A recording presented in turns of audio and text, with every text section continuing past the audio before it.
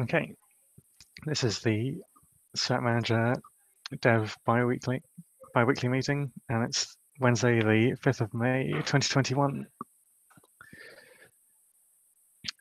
Um, could just quickly go around the call and uh, give an introduction for uh, who's here. So uh, I'm Jake. I work on the Cert Manager team at JetStack. I think we've got a couple of couple of external contributors today. So would you like to introduce yourselves, please? Hey, I've been here before, but my name's Zach I'm with AWS working on um, our external uh, plugin. Well, uh, Hi, welcome everyone. again. Hi, everyone. Um, Param. I, work, I work for the same team as Akbar. Uh, I work for AWS ACM Private Certificate Authority. Nice to meet you all. Uh, hi, I'm Jochen Ulrich. I created the AWS PCA issuer and I'm working on transferring it to the organization.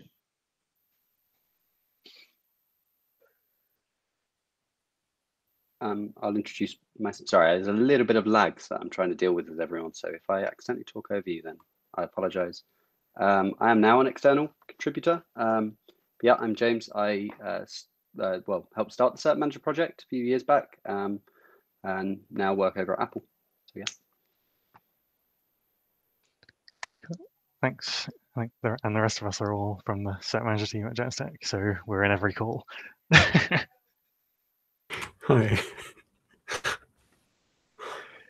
Um, I guess seeing as all the uh, all the external contributors here, we can move. We can start with the uh, process for accepting external issuers into the Cert Manager org, and I'll hand over to Ashley for this one. Sure. Um, so yeah, this is this is still a uh, work in progress, but that doesn't need to stop us from moving forward with the donation of the um, PCA issuer. So I've linked um, an issue that Mael created for um, creating this this stuff and uh, having a document that we can refer to for this stuff in the future. And we have a PR in progress um, on the website for this stuff as well. Um, so what I've tried to do with this is to take what's listed as the process for CoreDNS and containerd and other CNCF type projects that have this kind of thing in place and sort of adopt that um, and, and use that as much as possible as a, as a baseline. Um, none of this needs to be set in stone. Um, so what, what's actually in the document that you see in the pull request I just linked, um, that doesn't have to be the final thing. Uh, and, and if something seems too onerous or um, or not onerous enough, I guess, then please do just say it's it's a collaborative process with everyone.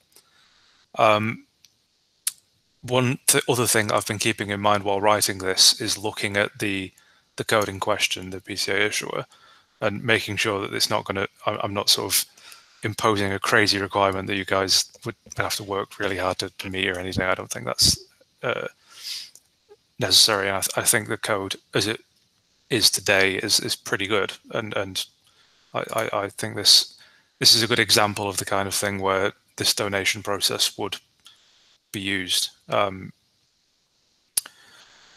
so yeah, I, I don't necessarily think there's any point in me going through the list of requirements now we're sort of reading them out. Um, they're there, um, and I hope they're pretty clear. Um, a lot of them are already met by the PCA issuer, such as the license. Um, I, I suspect one small piece of work that will be needed is um, maybe more tests. I think I think that we- we've discussed this previously, and the, having a few more unit tests and maybe an end-to-end test along with the infrastructure to do that that would that would, be helpful because that can be automated, obviously, and um, we would have that on every PR raise to the repo. Another thing is the, the DCO sign-off stuff, which I'm not going to pretend to be a, a lawyer or a legal expert in any way, but um, maybe having a empty commit, which is something I suggested in the document, um, where you just sort of sign off. Any, anyone who's already contributed code to the project will have a commit that signs off they're happy for the code to be donated. That just sidesteps the whole sort of copyright issue. Um, and Jochen, I think you'd probably have to do that. Obviously, you wrote most of the code, so um, we need something like that. Just the same as what already happens with Cert Manager upstream and for the website. Just as sort of like a, a legal flourish that we can all point at. Um, the rest, the rest, I think, speaks for itself. Uh, if you guys have any questions or anything, I'm happy to take them. Um, or obviously, you can add them to the PR or the issue as well. Um, uh, one final thing I'll say uh, is I added a requirement that we have a point of contact from the code base um, for after after the donation happens. Um, I don't know who that would be, be, but I think it's important that we do have someone we can talk to in case we have any questions um, after the donation is done. It's not that um, we're not like expecting the code to sort of be thrown over the fence or anything. We're not expecting you guys to disappear off the face of the planet, but sort of one person that we can contact to talk to would be good. And I also added a requirement on the cert manager side that we have a regular contributor um, who is sort of the the sponsor or the, the shepherd for this code as we receive it as a donation. I'm happy to do that personally.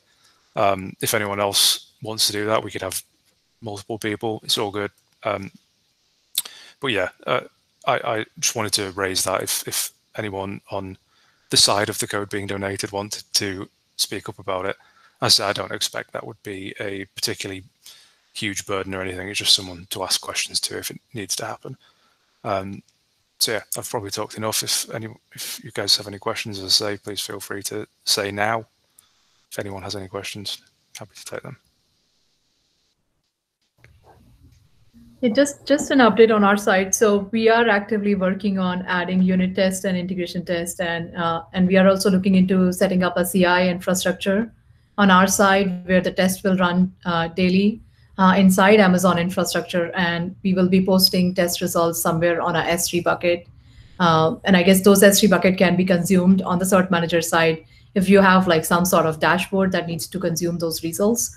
Um, so so we can provide those S3 bucket link when we reach there. So so that's probably going to be most of our focus uh, for next two weeks uh, to get it up and running.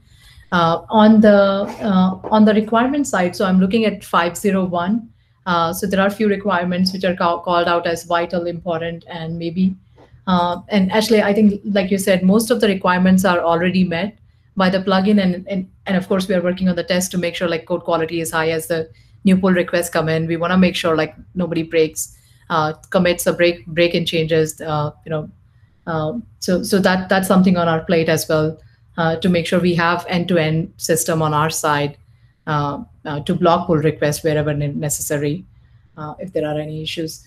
Um, so on the on the license side, so I was looking at the CNCF requirements for accepting donated projects.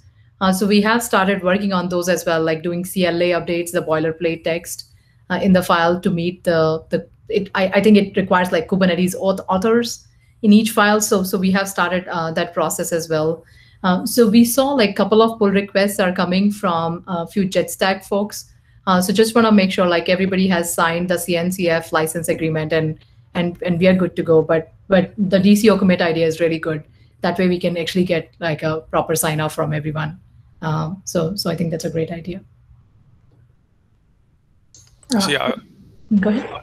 I'm not actually sure what needs to needs to be in the boilerplate header for that. Um, I do know that there's a difference um, with Cert Manager. We have copyright the Cert Manager authors uh, and not the Kubernetes authors. Obviously, Cert Manager is a CNCF uh, sandbox project, so I don't know if maybe someone else on the team can comment on what needs to be there in the in the boilerplate.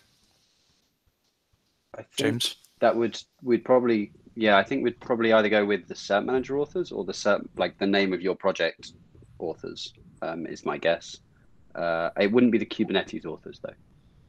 I see. So, so I think that's fine. So we can we can submit another pull request to fix that. That was something that came from Chris Aniszczyk uh, when Micah reached out.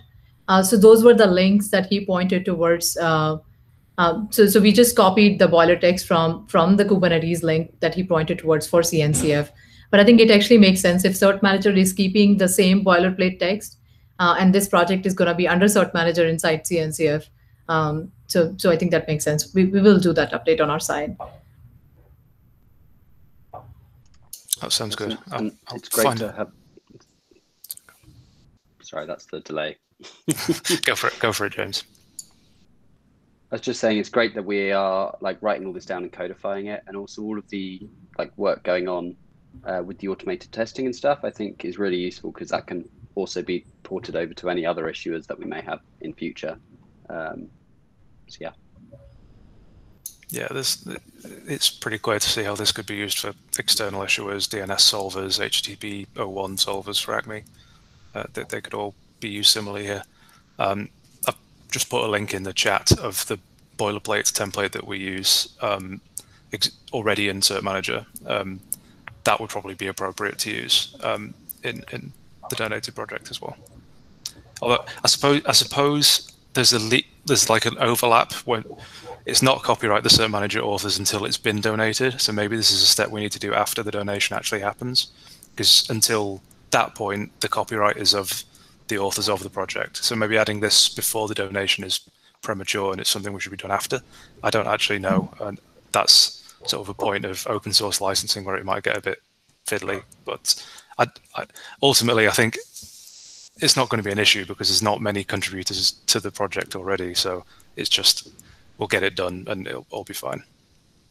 Yeah, I guess it, it's the legal being followed differently everywhere because Chris mentioned that it has to be done before it lands there, so that like it, it has clarified all the legal concerns. Sure. Um, so I guess either way should be fine because uh, we have Jochen in the room and we have like all other authors we know, like who has contributed to this one. So we should be okay either ways. Uh, so we can decide on one or other, and we can just stick to that and and do the change once it uh, once it is transferred. That sounds that sounds good. Yeah. And and for the point of contact, uh, so uh, I'm not sure if like it needs to go in some README file or somewhere, but I guess from Amazon side, I can be the point of contact. And Jochen, I'm not sure you want to be the second point of contact uh, post uh, transfer uh, for answering any questions. Um, Yeah. So we both can be listed. I think it should be fine. That sounds great. Thank you very much. And uh, yeah, I'll, I'll reiterate that I'm happy to be the cert manager point of contact. Um, and anyone else who wants to get involved, obviously feel free. It doesn't have to just be me, but I'm happy to do it alone if needs be. That, that sounds great. So I guess from our side, once we wrap up all the pull request and CI system in next couple of weeks, uh, by the time the next bi-weekly meeting, we should be at a point where we can initiate the transfer transfer from our side, and somebody from the cert manager side can accept that transfer, and, and we should be good to go from there. That sounds great. Yeah, I'll um, in the meantime on our side, I'll look towards getting this uh, the PR that I've linked merged, so we have the document in, on the website itself. Um, but yeah, I, I, it doesn't seem like it's going to change a massive amount between now and two weeks' time. So um, that should be good.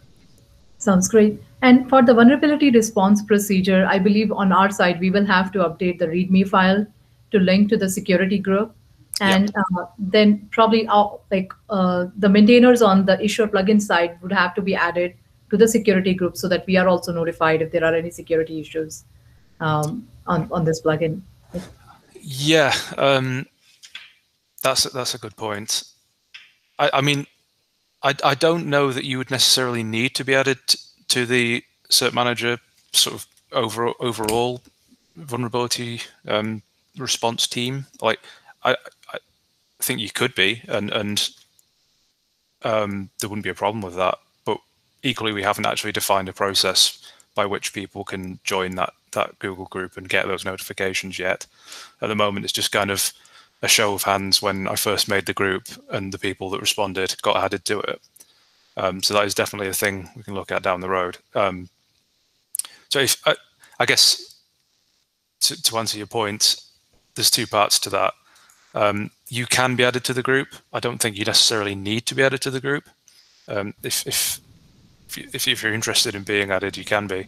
Um, certainly, I suspect if if a security vulnerability were to be reported in this post donation, we'd probably CC you in um, as, as by default anyway. Um, I don't think you need to be in the group. Although, see, I I- you're welcome. Yeah, it, it, just for the safety reasons, like from AWS perspective, security of our customers is number one thing for us. Sure. And and anytime a security vulnerability is re- is reported in a project, especially where we are co-maintainers, uh, we want to be on the no list uh, so that we can like cut us a Sev2 on our side and just jump right uh, right in and fix that issue. Um, so I guess that that's the intention behind it. Uh, Yeah, yeah. like just to be aware and and and you know know when to act because it, we are 24 by 7 on call for especially for security issues. Even if something comes in during the nighttime for our business hours we will be jumping on into it. Um, so so so that's the intent behind it. If we have an email uh, we can create like a pager alert, alert on our side that if some email come on the security group uh, we have to act on it. Um, um, yeah yeah yeah that, that's where i was coming from. Yeah, yeah, yeah to- totally reasonable. Um, as say, we haven't defined the process by which someone would join that group yet. Um, I guess we'll need to discuss that further. Um, but yeah, I, I, maybe kick that can down the road for the next meeting, um, or we can discuss it here. I, I mean, I'm, I'm easy, but yeah, it, that that's not in place yet, but it, it certainly should be. Yep. So, so maybe we should create like a sim for that and figure out that process as well, because uh, we want that to happen before the transfer has happened. Um, so, so that way, because with the transfer, we will be legally supporting or co-maintaining the plugin, and and we want to make sure like this vulnerability response procedure is in place. And it doesn't make sense to have a separate procedure for this plugin because it's an it's gonna go underneath Cert Manager. So it makes sense to make use of the overall vulnerability response procedure that we have in place. Yeah, that's that's a fair point. Um, yeah, I, I I can take that as as a thing to write up. I suspect there doesn't need to be much ceremony about about this. Like it, um, but yeah, we'll need to discuss it. I think further just to make sure that all points are heard. Uh, I'll start. I will oh, right now. I'll write a comment on our Cert Manager Dev uh, Slack channel asking if anyone has any comments on it. Just first first point of call. I suspect no one will re- respond to that. Um, but Sounds will. great. I'll try and define a process. Yeah.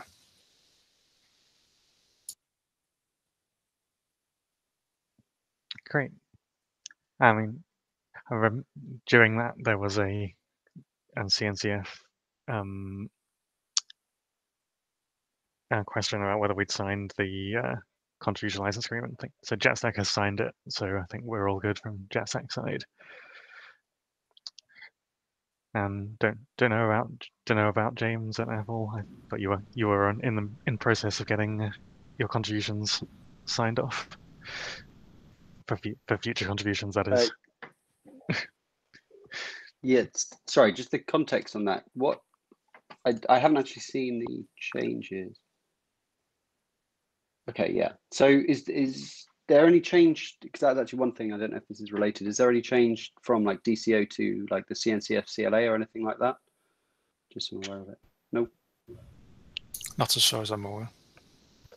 No, so we looked. Not aware either. I think we actually we did look into it in the early stages of how how do we donate cert manager to the CNCF, and we don't need to change our like DCO process as far as I'm aware.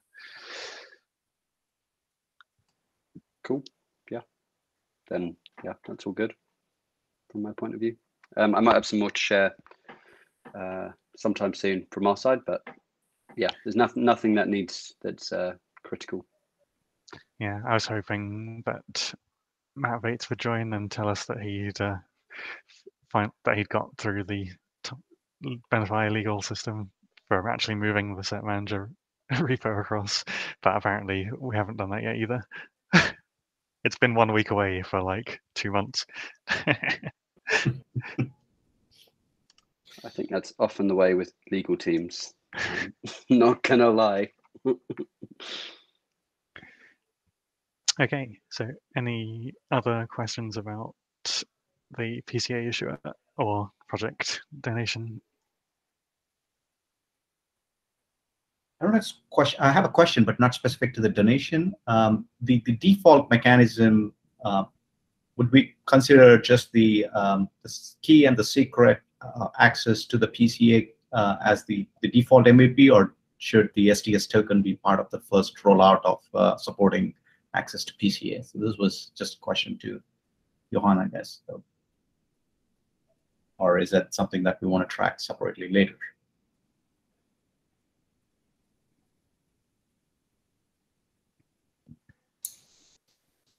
I'm, I'm not sure I understood what the question Yeah, was. so the PCA today, the PCA issuer works perfectly fine because you know we've already validated that it works, but it works with a, a, a key and a secret. Doesn't necessarily.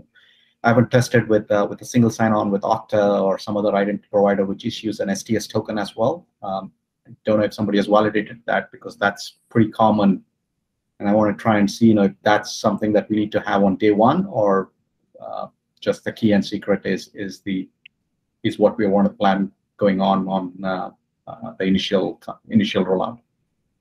It does work with um, instance roles and also with the Kubernetes AWS roles. Um, however that works, I think there was something about giving pods like an AWS IAM role. Mhm. So that works too, but as of right now, everything that's standard in the Go SDK from AWS works.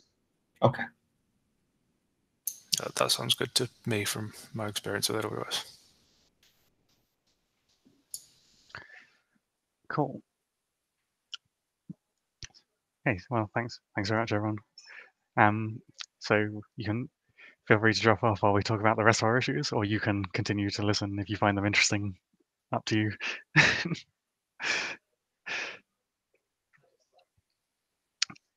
okay. So last Wednesday, we released the first alpha of 1.4, and this has done the job that we want alphas to do, which is surface issues with the PRs that we've merged in in real use.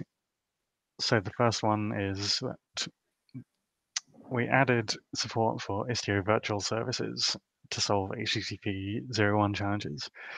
And this introduced a whole bunch of pod template stuff into our CRDs because they're nested within the Istio definitions for virtual services. And this meant that you can no longer kubectl apply RCRDs because the last applied annotation is too big.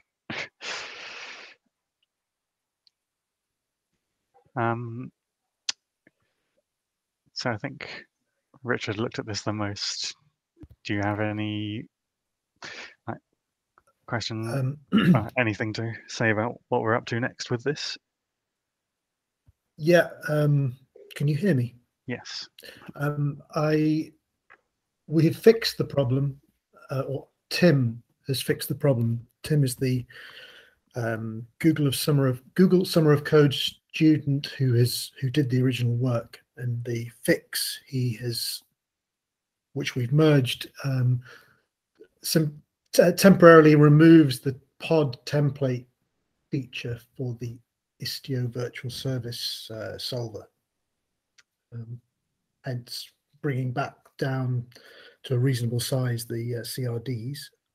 Um, the long-term fix is we, we think the long-term fix is to deprecate and then remove some of the old versions of the API which get um, uh, rendered into the CRD manifests. Um, but that can't be done until we've until like one or two releases in the future. We need we need to have one release where we deprecate those V1 Alpha 2 and V1 Alpha 3 and V1 Beta 1 APIs. And then in subsequent releases, we can start uh, removing those altogether. Um, I look, there was a couple of other possible workarounds. We, in terms of um, shortening the lengths of the descriptions in the CRDs. We had a discussion about that and decided um, well, Tim came up with this third third option, which um, kind of put that um, conversation on hold. Um, what else can I say? And I read there's and another option may be that um, in the future, uh, those um, embedded um, API type documentation. Um, Irbe? I think it's Irbe. You've you found a, a, an issue where they talk about instead of embedding it, that you it, it creates a link to the documentation, the Kubernetes documentation for pod template, for example, for pod spec, for example. Um, anyway, those are all options which we had, but we, uh, Tim has um, put in place a, a, temporary workaround, and and we think the best best best solution is to remove the old API versions. What a question um, the question for discussion is which of the API versions to remove first, um, whether to remove all of those obsolete versions at once after deprecating them or to or whether we try to figure out for example whether the v1 alpha 2 api is in much more wide is much more widely spread much more widely used than the other two which were shorter lived. Um, James Munnelly, that's a question for you, I think. If, yeah. If you... Um. So, oh, sorry, that lag. I need to fix this lag. I don't know what it is, but no, that was my fault people. because I, I I asked the question, then I kept on talking, and I should just stop. And I. No, it's right. I think it's because you paused which gave me enough time to talk. But because I hadn't talked for a while, because of the lag, it takes me a few seconds extra to actually hear anything you've said. Yeah, we should do like CB radio, um, like say your question over, and then then then we know where we are. Yeah, and at the end say over and out. Um, yeah. So yeah, I think um, the observation you make there about V1 Alpha 2 being the most widely used is absolutely valid. Um, I think it is. I doubt V1 Alpha 3 or V1 Beta 1 are really referenced in many places at all. Um, I, as much as it would kind of then make sense to get rid of V1 Alpha 3 and V1 Beta 1 first, I also don't think that really makes much sense because it will be very confusing. Um, I get the hmm. feeling we might be able to say we're going to like add a deprecation warning into V1.4 um, for both the alpha and the beta APIs, with maybe a note to say that all of the alpha APIs are going away in 1.5, so both uh, two and three, um, because they are like kind of collectively one phase. And I don't think, especially given three isn't really used much, I wouldn't want us to then have to push out everything more and more releases. And then I think in like what that will probably unblock us and mean as soon as V1.4 is released, uh, we can actually in the main like in the mainline branch, like in, in our development branch, remove two and three, get these things merged, and alphas should then be cutting fine of 1.5. So we can actually get that feature out, and at least in an alpha release, um, as soon as we've cut 1.4, which yeah. does mean that it is a lot sooner. Um, yeah, I, I love the idea. I think Irbe mentioned it around um, having like the deprecation notes in the webhook. I think that's absolutely great, and that will really help.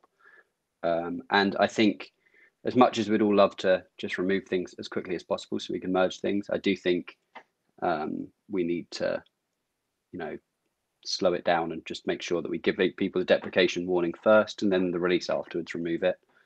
Um, in terms of like how, like we we know that we've got the like kubectl cert manager convert command already, right? So that works from v1 alpha 2 all the way up to v1 so the actual migration path for users, I think is actually fairly okay.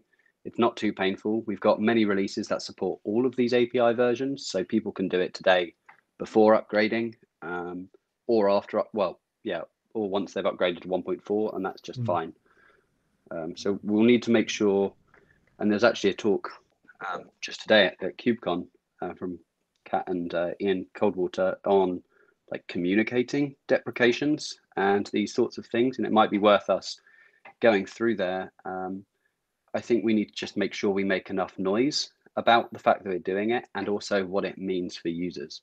Because otherwise you get you know fear and panic. Um, it might to be worth doing something similar to what Josh has done with the um, issue implementations and the approval stuff in looking up what other projects import V1 Alpha 2 and um, reaching out to them directly and saying, look, switch to V1. I don't think we need to mess around with V1 Beta 1. V1 is supported since 1.0 and we're releasing 1.4. So that is well within support boundaries. Um, and I think it's generally sensible for people to upgrade to 1.0 Yeah. regardless. Um, we haven't had a problematic upgrade process since, what, like naught, I think, is it naught 14 or naught 12 or something? Um, so there's not really, you know, if people, if projects are still vendoring 0.11 of Cert Manager, I think we are well beyond the time whereby we can turn around and say, no, look, you know, there, there might it might have been problematic at the time for you to upgrade. It might still be, but this is something that has to be done because that is extremely outdated software at this point. Yeah, I think really everyone's spot on with all this at the minute. Um, yeah, so we will then we'll try and do this deprecation work before we release 1.4. Um, it may not even require a, w- a webhook because it's. I think it was someone found it's an attribute in the CRD where you, where you deprecate the entire version. Yep, there are fields for deprecation warnings that I think use the same warning header in HTTP response as the webhook warnings. Nice. And does that allow us to put a custom message there too? So deprecated and there's a deprecation message. There's no way for us to know how many people are currently on using what versions, I guess, right? So there's no way we can know what manifests they are submitting, but what we can see, and I think the ones who just have manifests is actually the one that worries me least because we can do like kubectl cert manager convert to convert those resources, and as well when they submit those resources to the API server, um, they will actually see those warning messages. It's more the projects that depend on it, as in like the projects that might use like a V1 Alpha 2 lister or Informer or something like that. So if we have a look at what imports, I think PKG slash API slash like cert manager slash V1 Alpha 2, we will then be able to see which projects are actually depending and utilizing those types. Um, the other thing actually I did raise, and we do need to really, I think all of us sit down, upgrade our clusters and uh, test things out is the storage migration piece, making sure that we communicate to people to like how to migrate their resources because a lot of resources may have been submitted a year ago in V1 Alpha 2 and haven't really been touched since. And we need to just make sure that they don't have any CRDs stored um, or instances of their custom resources stored in V1 Alpha 2 format because uh, the API. Oh, actually, The conversion webhook. We can- so the conversion webhook will do it until we remove any trace of V1 Alpha 2 from the CRD because then the API server won't know how to decode it. So actually what you'd normally do is do this over an additional API Oh. version um, and flip the served uh, field to be served false, which would actually push us out one extra version. Because if you do that, then it gives them a chance to like V1 Alpha 2 won't be accessible, but the API server still will be able to decode things from etcd in V1 Alpha 2 format, submit them to the uh, conversion webhook, and then when it goes to persist them again, it will actually rewrite them as V1 because that's our current storage version. Um, yeah, so I think the official process would actually look at deprecation first, then changing serve to false, and then removing it, which is slightly more painful for us. Yeah, no, that's that's it. that. We made a mistake when we did the version one release. We didn't follow that. I remember. I can't remember the details, but we didn't follow that process, and it caused upgrade problems. Yeah, we might have done well to have, upon 1.0 release, you know, the benefit of hindsight, to actually deprecate them then and put the message in then, um, just to let people know. Because now, yeah, Yeah, Yeah, there's no message, but it has been a year, so hopefully, yeah, I guess people don't move unless they unless there's noise.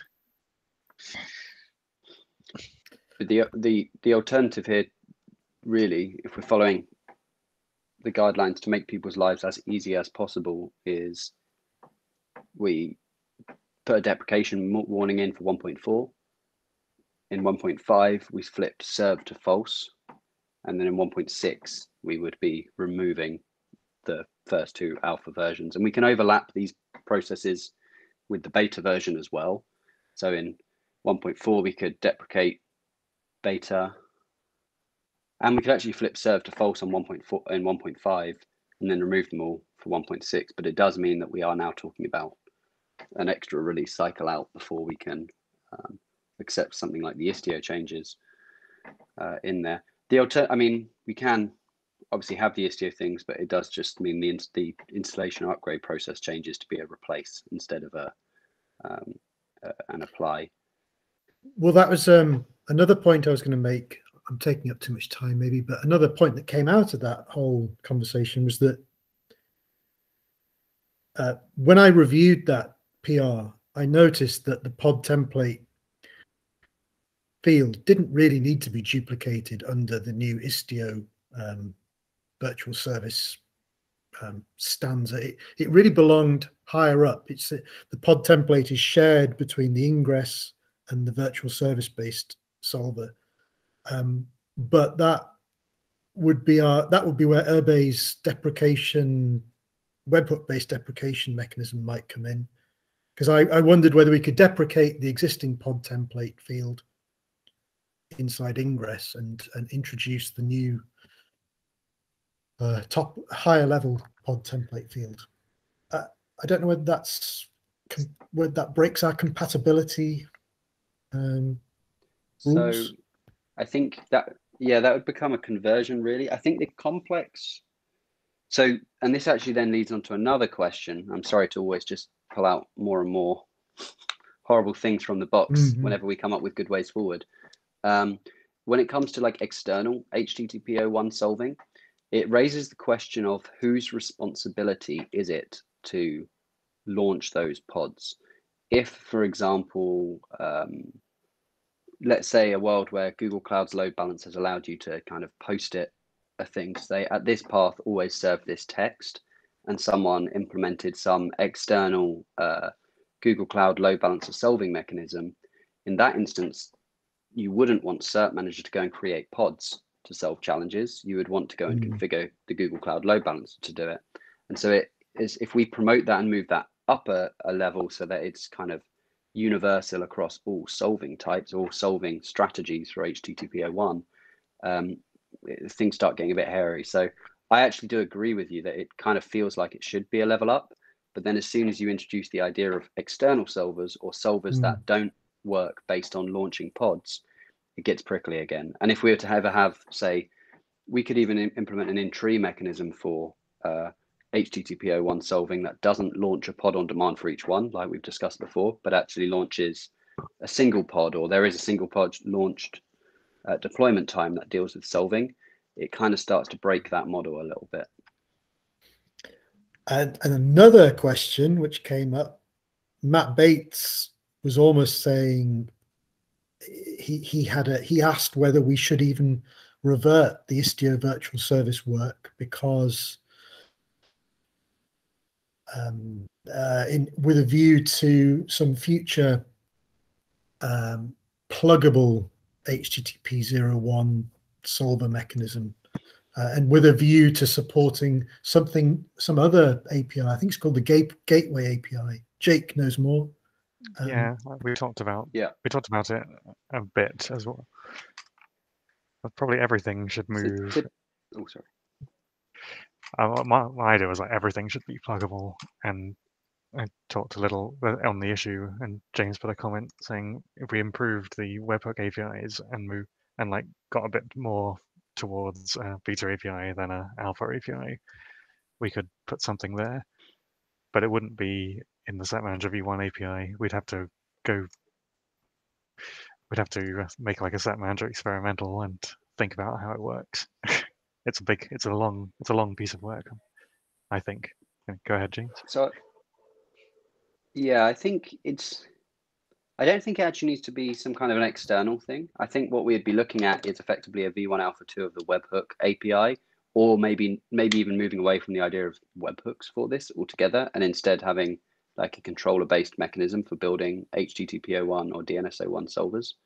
I think we could do it more simply. It certainly is more work than just merging Istio support, but that is like the re- we have had these requests before for both Istio and Contour and a few other things. Um, but really, like at least in the past, I've kind of like not.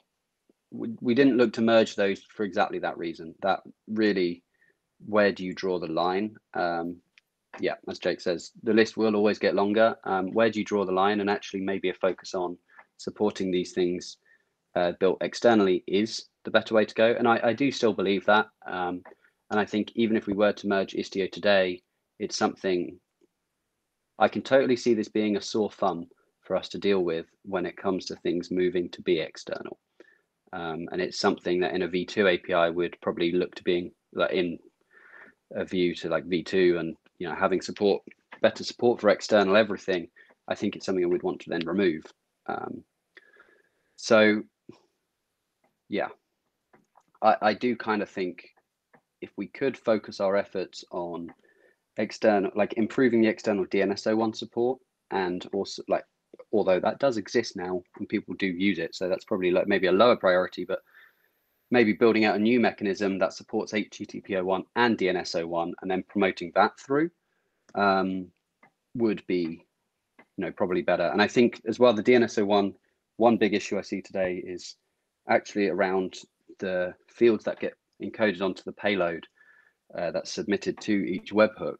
Uh, they are already like pre-signed by account keys, and there's a few issues there that mean things like picking up the uh, xenolf slash Lego DNS providers isn't possible today. You can't build a DNS01 webhook for Cert Manager that just exposes all the Lego DNS providers for exactly that reason. And that's also a similar reason why you couldn't just go and take the current DNS01 webhook API, sort of hack around a little bit and use it for HTTP01 because there's a bit of pre-signing being done before submission. So that whole API needs a bit of a look over.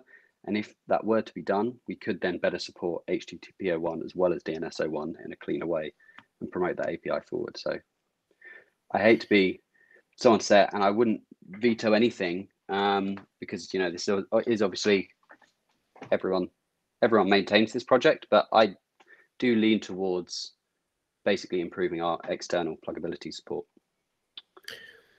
What about reverting the Istio virtual service work? It would be a shame for Tim, but given all of that work he's put into it, but it might be for the best. It seems like an unfortunate no-brainer, doesn't it? Cheers, Jochen. Well, um, perhaps we'll discuss it further uh, it, it, on GitHub. Yeah, we're we're not going to get through our agenda at this at this rate. Um, I should we move on from the is the Istio virtual service discussion? Continue on GitHub. So there is an urgent issue then in the 1.4 alpha, which is that we can no longer run our update CRD script. And this is caused because um, someone put some Helm annotations in, or Helm directives into the CRDs, which causes controller gen to choke. Yeah, I, I'm going to put my hand up and take ownership for that mistake because I totally forgot all the horrendous Helm stuff that we do to our CRDs. And at the time of us having like switching to that, I remember we did. I remember now. Um, the only reason why it works is because we were able to quote all of the like put double quotes mm. around all of the Helm directives, and um, that yeah, totally forgot that. That does need reverting and then rewriting to all be quoted. Okay, so you need to rewrite, we need to revert that PR and rewrite it to quote everything. Is that? Well, it's not really quotable. I mean, it's it's like an if else statement. Um, that's that's being put in there. It, unless there's some other way to embed the if else logic inside a quoted value. I don't know. Yeah, I suppose the issue here is that we are trying to swap out which struct field, like which like Yeah. whole struct stanza that we specify as opposed to just a single value. And I think we managed to avoid that problem before because we just didn't have many of those Hmm. types of switches. Okay. But we should just revert it pretty quickly, I think, because it's blocking someone else who is kindly updating all the dependencies to Kubernetes 1.21. Why are they doing that, by the way? Why why 121? Is which which version of Kubernetes the are we on now? latest release. Oh, right, Okay, okay. Yeah, we're on 1.21. 121. Sorry, I've lost track. Right. And we need that does need to be done just following the normal the normal deprecation timeline of Kubernetes client Right, code. right, right. multiple times a week. I have to Google Yeah. Kubernetes release releases, and then grep for the highest number. Okay. Yeah, I think that's Sorry. Tamal because they build a lot of other projects on top of.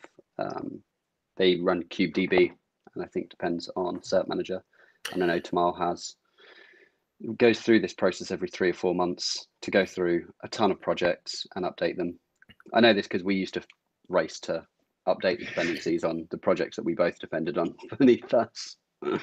Is he is he is he doing that because he's facing the same issue we faced with importing Istio's um, generated code, which had dependencies on particular Kubernetes components? And is that an argument for us to to bring forward the idea of publishing our API as a standalone repository? What, what's the reason? Uh, potentially that would, Hmm. yes, that potentially might actually help. It would be worth chatting with Tamal about what areas of our code base uh, they actually need, and if it is just APIs. If so, Mhm. then yeah, I'd agree. Um, that could definitely help because they could use a like a well, they could just depend on 121 despite ours being 120, and as long as there is vague compatibility, which there should be, because it'd only be deep copy generator being used there. Um, I think that would actually work. Uh, I And do March, also think uh, that we, like, as an that, we need to fix it. We talked about doing the same mechanism that Kubernetes do, of having the APIs in a staging directory and then automatically publishing those to a different repo. So I'm not against having a staging thing. I kind of slightly am though, because the whole existence of staging in Kubernetes, at least, was meant to be a stepping stone to having them actually external. The things that make that difficult is the fact that it's a change, like a quite significant change in workflow. You need to merge your API changes ahead of merging any controller changes.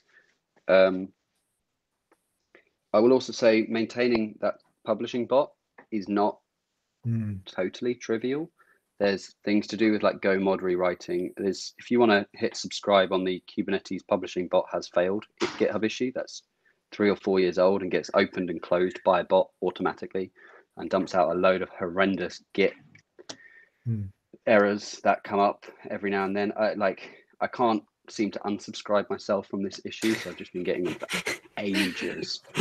Um, it's it might be worth trying. I'm not actually like maybe ours is simpler because we have fewer complex dependencies. Yeah, um, and it does mean that we can then develop things Mm. in repo.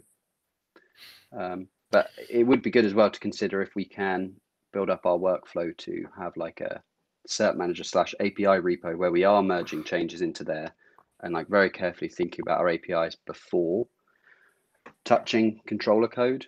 Um, but yeah, I don't think there's a ton of prior art in doing it that kind of way around. So maybe it's going to be difficult. It's a workflow issue, really. So I, again, I wouldn't like to like prescribe anything one way or another because it's stuff that everyone has to deal with. Um,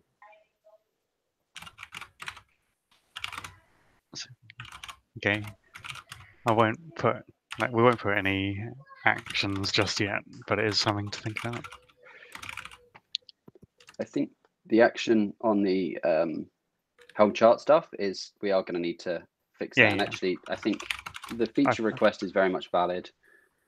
Um, so it'd be good to come up with a way around it. On the staging side, if someone wants to start experimenting with publishing our API things, I do think that's separate um, from this issue specifically. I think it'd be interesting to see how painful is it really to have a staging uh, directory. I've, I, I think I've just got an aversion to it because of the number of emails I've got, but uh, it, theoretically it does make sense and it works and it does make for a nice workflow with committing changes all in one go.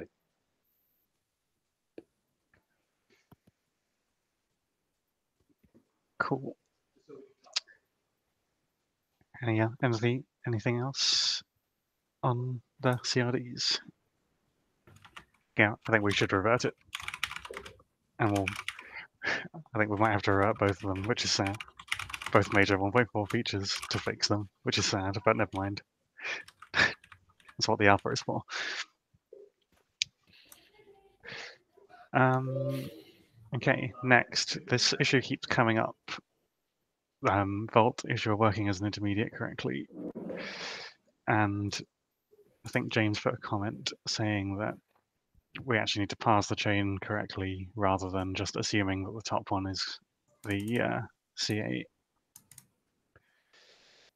I guess it's just a does anyone volunteer to fix this for 1.4? Yeah, I can. Uh, I could give it a stab. So, if I understand correctly, um, we need to actually find out properly programmatically which one is actually the CA, and rip it out. yeah, and have this for all If it issuers, exists, yeah. hmm not just the Vault one. All issuers, yeah. And um, I guess we need to do I that think- by the um, issuer subject, I guess, and just build the tree and take the top of the tree, right? Yeah, go as Cut far up head the off. tree as you can, and if there Yeah. is no root, you if you don't end up as a root, then we just don't populate ca.crt. Even if the intermediate would. Would you not always do the toppest one? Say if you had two, No, that's and the, the, the, the top, the head one, that is the issue, right? Yeah, basically right now the top one could end up being, well, in the Vault case is actually a little bit different. Basically, Vault will only actually give you a root CA if you've submitted a root CA to it, and there is actually a specific like root underscore CA parameter in the returned response, which we assume that if it's not set, then we go and take I think the top of the CA chain um, and use that, which isn't always correct, but it could be. In some cases, it could be depending on how the users configured it. Um, which is where like we end up with this weird behavior where it works with some people because they've actually technically misconfigured their Vault instance, and then for the ones who have correctly configured it, I think it doesn't work. Oh no, it's the other way around. I think actually. Basically, we need to be more intelligent. Mm, I'd say for define 1.4, correct- the fix needs to be just for Vault. Mm. Define Uh, correct. configured though, right? As in, well, yeah, I mean, you can configure it either way. Correct here, I mean, like you can actually submit, like you could configure a Vault PKI backend saying, here's the signing certificate, which is an intermediate, Mm. um, and here is the root CA, and you'd actually submit that root CA to a different endpoint, and then Mhm. in responses back from the end user, it would say root underscore CA equals that, and then we could pick that out. Mm. Um, the issue is if someone submits a root CA and an intermediate to the signing endpoint, like the endpoint that says use this for signing, Vault Mhm. will then use the intermediate for signing, but it will return that whole thing as the chain. hmm Um, and that's where Mhm. things start getting prickly, I think. So, uh, two things. So, number one, we basically not only do we need to be more intelligent everywhere by doing this kind of building the tree, taking the head off, making sure it's a root CA. Also, in the Vault issuer, we probably might need to do another API call potentially to get that CA endpoint. So that API call is being done. I think Yeah. that was part of the changes, if I Okay. recall correct. I mean, uh, I need to dig in actually because I am Yeah. So, now going off the trodden path of what I do remember. But I summarized it. I think, I think I summarized it quite well in that issue. I can't remember if I missed a bit of it though. the Um, I, I think it, I think it was very clear when you summarised it in that issue, James. I think I, th- I thought that was s- sound. my my second question was going to be though. my second question was going to be um, do we only ever have roots in CA cert, or I would have thought it would have been it would be correct to have intermediates in some cases in your CA cert.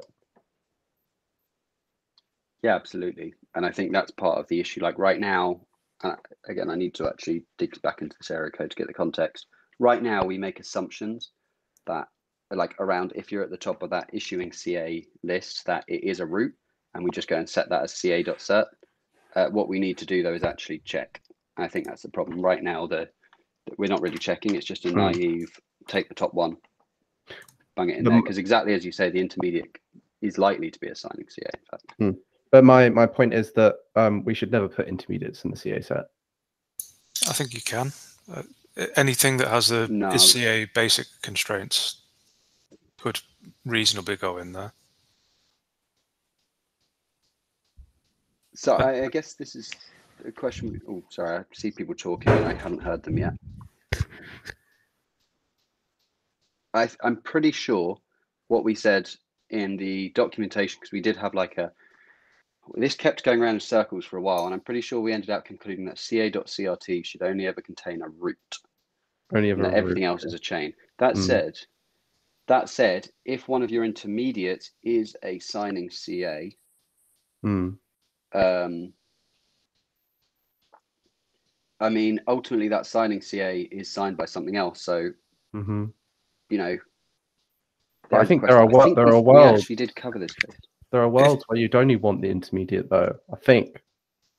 If yeah, if So I'm not. Sh- if if you've got an, an, inter- an intermediate by definition is a signing CA and could be explicitly trusted by being added to a trust store on the verifying client's machine.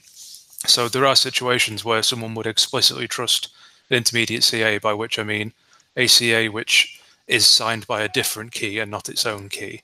Hmm.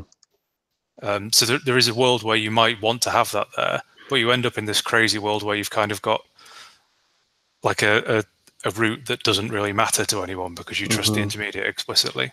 Yeah, I mean, if I've got, but I, you maybe do actually want to do this because you want that kind of separation. You'd have a single, you know, enterprise root CA somewhere, and you have two environments containing n number of clusters, and they both operate over two different intermediates.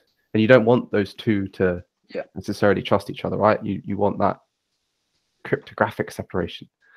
Um, It's I think I think in practice, having worked with like a sort of split CA thing where there was s- separate intermediates for separate purposes, it mhm. doesn't really work very well and like is to be discouraged if you're going to try and set up something like that. Uh, it just adds a ton of complexity for not a great de- great great amount of value for Mm. me. But, Um, but, but it, like, it's possible to construct scenarios where you would want to do it mhm. for sure. Yeah, yeah, that's my point. It's like Yeah. I think then there is enterprise use cases for having that kind of setup. Yeah, uh, I, I've had it where um, there was a root which issued two intermediates, one of which signed for test environments and one signed for prod environments, and it's Mm. terrible. And anyone doing it should not do it, but Mm. people do do it. Yeah. Um, I would. Yeah. I think actually you are right in saying that we might need to give people an option here. Um, I think what we, the issue for the Vault case right now, I think we can probably take some action to fix the environments we've just gone and broken. Um, I do think though, Josh, your point about, and Ashley as well, like it's to be discouraged, but I am definitely aware of cases where this is being done. Um, and I hate it, but it does get done. Um, so there might be another discussion. I'm trying to think like, do we want to try and do what we can to get back to a steady state now where we unbreak the things we broke and then move forward from there rather than adding more and more and more and more changes and especially like most importantly delaying a fix for all those Mhm. environments we just broke. So I have the opinion that we should go back to the steady state on the basis of trust root distribution, whatever that means, as a feature which is on the roadmap. Um, that seems like the kind of feature would solve this issue. Uh, whatever that feature looks like, but it sounds like it should be complementary, or at least kind of yeah, help with those situations. What that feature actually does or means or whatever is another discussion, but and perhaps I'm just, you know, kicking the can down the road. It's, it's I, I think yeah that would be a really good thing to have, but yeah the the Vault PR that James has linked there is is is is a bug that needs fixing, and that's sort of the first thing that to do for me.